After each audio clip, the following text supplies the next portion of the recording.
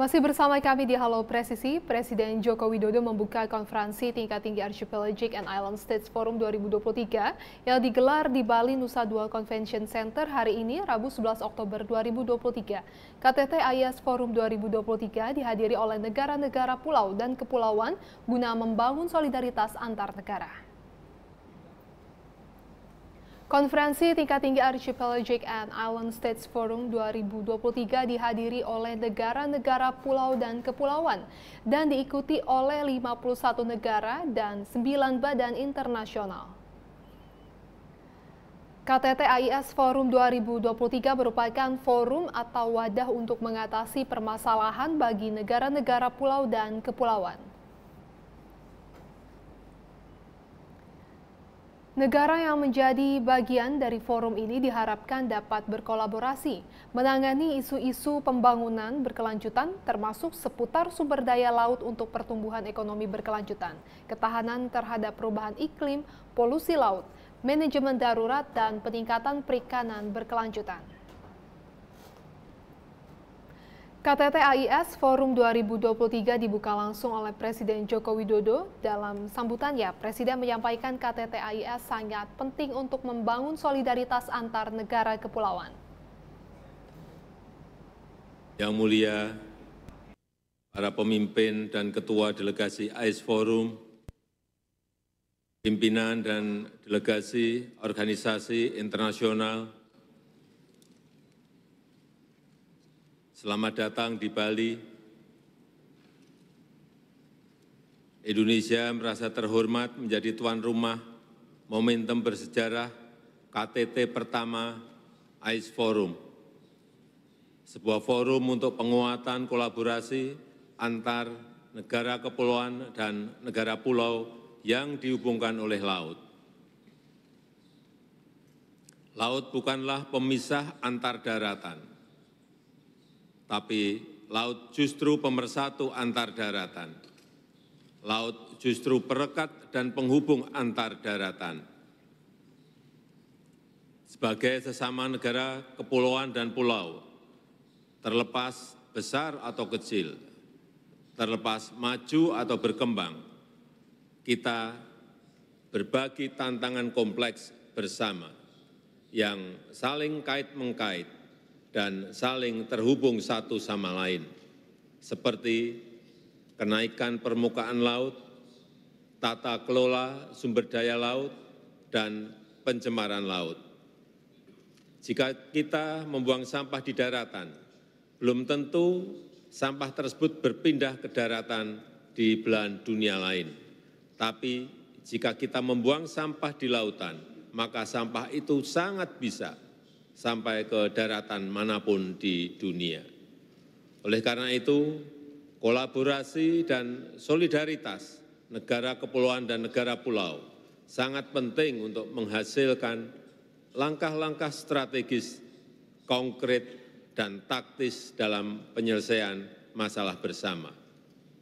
Dan KTT AIS ini merupakan kesempatan penting untuk menetapkan arah kolaborasi ke depan di mana terdapat tiga hal yang perlu kita dorong. Yang pertama, solidaritas, kesetaraan, dan inklusivitas adalah prinsip yang menjadi pegangan bersama.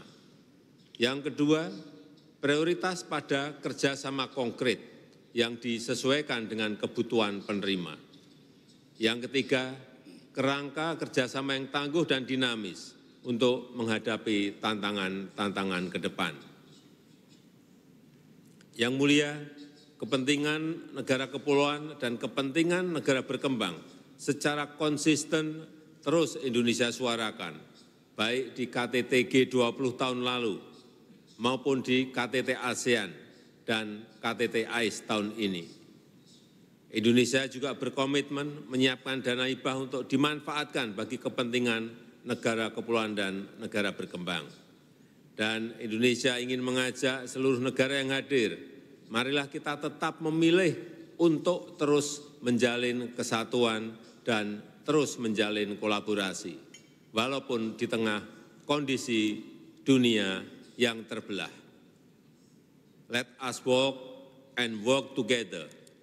Dan dengan ini saya nyatakan KTT pertama Forum Negara-Negara Kepulauan dan Negara Pulau dibuka. Kapolresta Barelang Kombes Pol Nugroho Tri pimpin upacara serah terima jabatan Kasat Binmas, Kapolsek Batam Kota serta pelantikan Kabaklok dan Kapolsek Bengkong Polresta Barelang.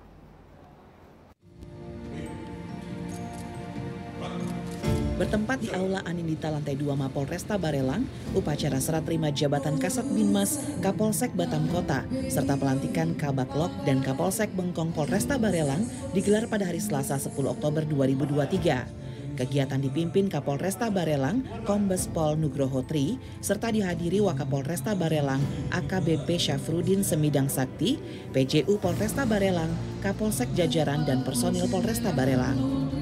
Upacara serah terima jabatan dan pelantikan berdasarkan surat telegram Kapolda Kepri nomor STR garis miring 535 garis miring 9 Romawi garis miring Kep garis miring 2023 tanggal 22 September 2023 tentang pemberhentian dari dan pengangkatan jabatan di lingkungan Polda Kepri, ditandai dengan pengambilan sumpah jabatan, penandatanganan berita acara sertijab, serta penandatanganan fakta integritas. Sesuai dengan surat telegram Kapolda Kepri, pejabat Polresta Barelang yang melaksanakan serah terima jabatan, yaitu Kasat Binmas dari AKP Mangiring diserahkan kepada AKP Tuti Elf, jabatan Kapolsek Batam Kota dari AKP Betty Novia diserahkan kepada AKP Sudirman. Kemudian pelantikan jabatan Kabaklok Kompol Hipal Tua Sirait dan Kapolsek Bengkong Ibtu Dodi Bashir. Kapolresta Barelang, Kombes Pol Nugroho Tri menyampaikan ucapan terima kasih atas pengabdian pejabat lama selama bertugas di Polresta Barelang yang dinilai cukup baik, serta mengucapkan selamat datang kepada pejabat baru yang diminta untuk segera menyesuaikan diri. Tim Liputan Polri TV. Halo Presisi akan segera kembali.